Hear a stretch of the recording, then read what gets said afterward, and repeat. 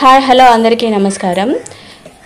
ఇప్పుడు ఈ వీడియోలో నేను ఒక మొక్కను నాటబోతున్నాను. అది మామూలు డబ్బాలో నుంచి హ్యాంగింగ్ డబ్బాలోకి మారుస్తున్నాను. హ్యాంగింగ్ డబ్బాలో మార్చేటప్పుడు ఎక్కువ మట్టి పోసినట్లయితే అది హ్యాంగింగ్ తట్టుకోవడం బరువు అయిపోతుంది కదా. సో అందుకని ఎక్కువ టెంకాయ పీసును మరియు ఎండుపుల్లలు వేర్లను యూజ్ చేశాను. ఇవి ఆల్రెడీ స్టోర్ చేసి పెట్టుకున్నవి అనమాట పాత డబ్బాలో నుంచి ఈ ప్లాంట్ను తీసేసి ఈ హ్యాంగింగ్ డబ్బాలోకి కింద కొంచెము పుల్లలు వేర్లు ఉంచేసి ఈ ప్లాంట్ని అలా ఉంచేసి మిగిలిపోయినటువంటి టెంకాయ పీస్ని రీప్లేస్ చేస్తున్నాను అనమాట ఎంటీ ప్లేస్లో సో ఈ ప్లాంట్ అయితే ఎక్కువ వాటర్ పోయకున్నా సరే ఇది చాలా కాలం మన్నిక ఉంటుంది.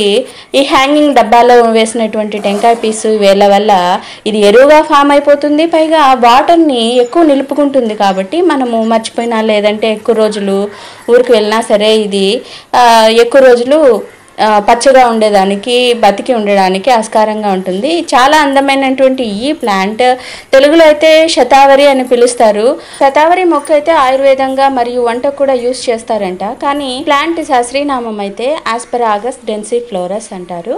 సో ఇది చాలా అందమైన మొక్క. ఎక్కువ బర్డ్స్ కానీ కోళ్ళు పక్షులు జంతువులు కానీ ఏమీ తినవు. ఇవి కొంచెము రఫ్గా ఉంటుంది. టచ్ చేసినట్లయితే కుచ్చుకుంటూ ఉంటుందన్నమాట. సో హ్యాంగింగ్ అయితే సూపర్గా ఉంది కదా. వీటికి ఫ్లవరింగ్ కూడా వస్తుందంటే. ఫ్లవరింగ్ వచ్చిన తర్వాత నేను చూపిస్తాను. సో ఈ అందమైన మొక్క ప్లాంటేషన్ ఇలా ఉన్నట్లయితే వీటి వేర్లు చాలా డిఫరెంట్గా ఉంటాయి.